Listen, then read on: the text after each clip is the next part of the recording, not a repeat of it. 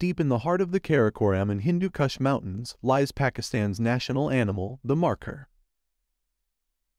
Markhor is a large species of wild goat that is found in the mountainous regions of Pakistan, as well as in parts of Afghanistan, China, and Central Asia.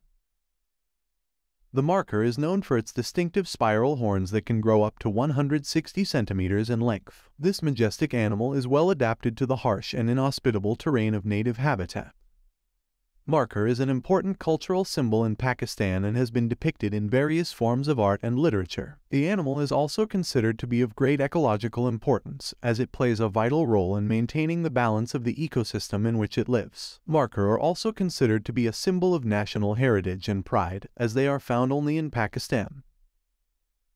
However, the markhor is an endangered animal. Due to the loss of its natural habitat, poaching, and other human activities, the population of markhor has decreased significantly over the years, with an estimate of around 2,500 individuals remaining in the wild today.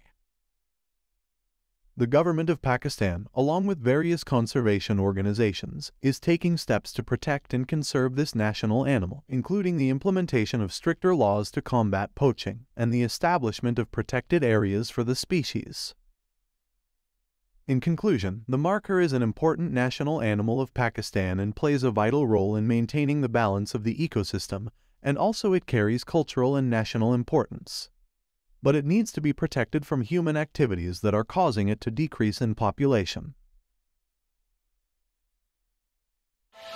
Thank you for watching and if you have any questions or comments please leave them below.